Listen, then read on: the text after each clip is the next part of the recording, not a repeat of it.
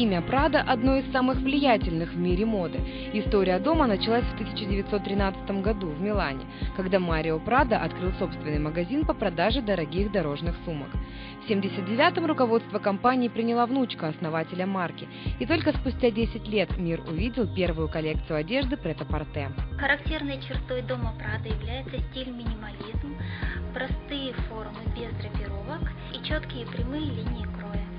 Лаконичность в цвете – еще одна характерная черта стиля Прада. Доминируют черный, серый и белый цвета. А если и появляются яркие оттенки, то в очень дозированном количестве. Коллекция 2010 года – явное тому подтверждение.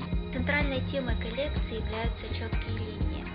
Это хорошо видно э, в геометрически ровных моделях пальто и жакетов с укороченными рукавами из плотного шелка микада с необработанными краями серебристых металлических оттенков. Альтернативой серому цвету могут послужить яркие летние оттенки, золотистые, бирюзовые, а, малиновые и фиолетовые.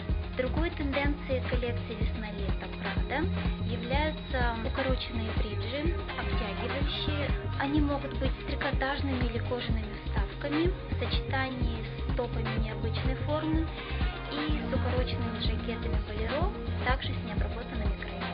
Узнаваемый принт коллекции Прада сделан на японском побережье. Пальмы, зонтики и отдыхающие туристы напоминают ретро-снимки. Дизайнер наносит эти принты на платья, летние тренчи и шорты. Ну и цветочный мотив. Ведущий тренд этого лета также представлен в коллекции Прада. Цветочный принт представлен в виде крупных цветов. Это сочетание бежевого и синего, черного и белого, золотистого и серого. А эти ткани из круизной коллекции Прада. В его основе тенденции 20-х годов прошлого века. Моделям характерны несвойственные мяучи, насыщенная цветовая гамма, утонченные узоры и силуэты с присутствием драпировок и бесформенных бантов завязок. Впрочем, это еще раз подтверждает, что не бывает правил без исключений.